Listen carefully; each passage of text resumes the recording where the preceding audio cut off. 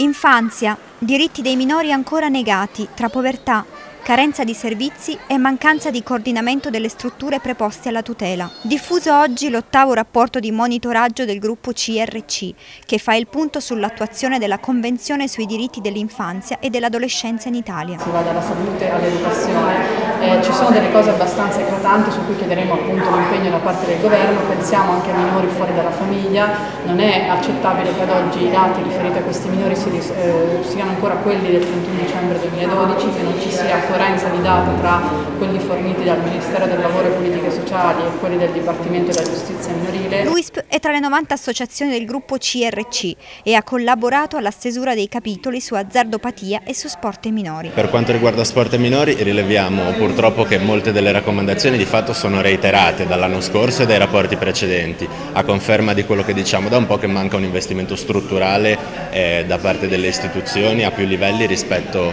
rispetto al tema. Eh, a complicare ulteriormente le cose c'è tutta la questione legata al decreto Balduzzi e quindi alla certificazione medico-sanitaria rispetto agli atleti e anche dei minori. Rispetto al gioco d'azzardo abbiamo ovviamente dato seguito a quello che è il nostro lavoro sul, sul tema e abbiamo individuato, come dire, a parte alcune raccomandazioni, nel modello del gioco d'azzardo liberalizzato, quindi come dire, orientato alla produzione di eh, profitto per alcuni a scapito delle fasce più deboli della popolazione, evidentemente l'obiettivo da, eh, da, da, attaccare. Alla conferenza stampa ha presenziato anche il Ministro del Lavoro e delle Politiche Sociali Giuliano Poletti. L'associazionismo, il volontariato, eh, gli enti locali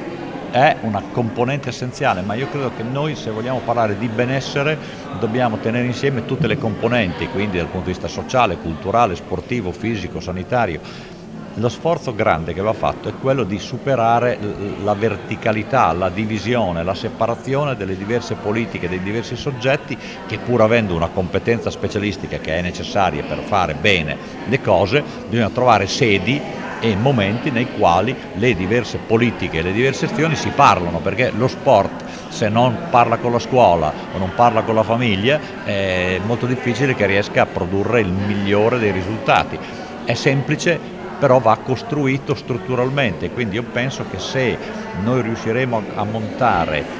politiche capaci di premiare chi agisse con questa logica otterremo un miglior risultato, quindi non è che imporremo obblighi, ma io credo che dovremmo usare politiche di premialità che dicono se hai un comportamento attivo nella direzione del far coagire i diversi soggetti avrai qualcosa in più, avrai una responsabilità in più, avrai un euro in più. Io penso che questo possa funzionare.